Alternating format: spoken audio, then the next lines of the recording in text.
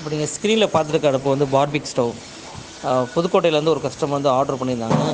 அவங்க இந்த மாதிரி கேட்டிருந்தாங்க அந்த மாதிரி ரெடி பண்ணியிருக்கோம். நம்மள்ட்ட பார்பிக் ஸ்டவ் வந்து பார்த்திங்கன்னா எல்லா மெத்தடையும் நம்ம ரெடி பண்ணியிருக்கிறோம். அதிலே ப்ளோயர் வச்ச மாதிரி நம்ம ரெடி பண்ணி கொடுத்துட்ருக்கோம். கீழே ஏத்தல்ற மாதிரி.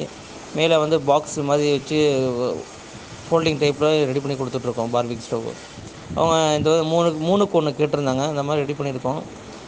இந்த அடுப்பு பார்த்திங்கன்னா வரக்கூடிய சாம்பல் தகடு அந்த கிரில் தான் இப்போ நீங்கள் ஸ்க்ரீனில் பார்த்துட்ருக்கீங்க அந்த சாக்கோஸ் வந்து இதில் ஸ்டோராக இருந்துகிட்டு இருக்கும். கீழே சாம்பல் தான் அதில் விழுகும் உங்களுக்கு. இந்த அடுப்பு வந்து பார்த்தீங்கன்னாக்கா நின்றுட்டு கஸ்டமைஸ் பண்ணுற மாதிரி மூணு அடி ஹைட் இருக்கும் இது அதோட அடுப்பு லென்த்து இந்த அடுப்புலேயே வந்து அஞ்சு ஸ்டிக்கும் நம்ம சேர்த்து இதோட ஆட் பண்ணி கொடுத்துரும் இது வந்து பார்த்திங்க அப்படின்னா நாலாயிரத்தி முந்நூறுரூவா அடுப்பு வருது இதோட அடுப்போட ரேட்டு நம்மள்ட்ட ப்ரைஸ் வந்து இதான் நாலாயிரத்தி முந்நூறுரூவா தான் அப்படின்னு ஃபிக்ஸட்லாம் கிடையாது. நீங்கள் எந்த மாதிரி கஸ்டமைஸ் பண்ணி கேட்குறாலும் நம்ம ரெடி பண்ணிக்கிறோம். அதுக்கு தகுந்த மாதிரி பட்ஜெட் தான் வரும். ஐநூறுவாலேருந்து நம்ம பார்பிக் ஸ்டவ் நம்மள்ட்ட ஸ்டார்டிங் ப்ரைஸ் நம்மள்ட்ட இருக்குது. அடுப்பு ஸ்டார்டிங்கு இந்த அடுப்பு சம்மந்தமாக வேறு எதுவும் தகவல் வேணும்னாலும் உங்களுக்கு வேறு மாதிரி கஸ்டமைஸ் பண்ணி வேணும் அப்படின்னாலும் ஸ்க்ரீனில் தெரிய நம்பரை காண்டாக்ட் பண்ணுங்கள்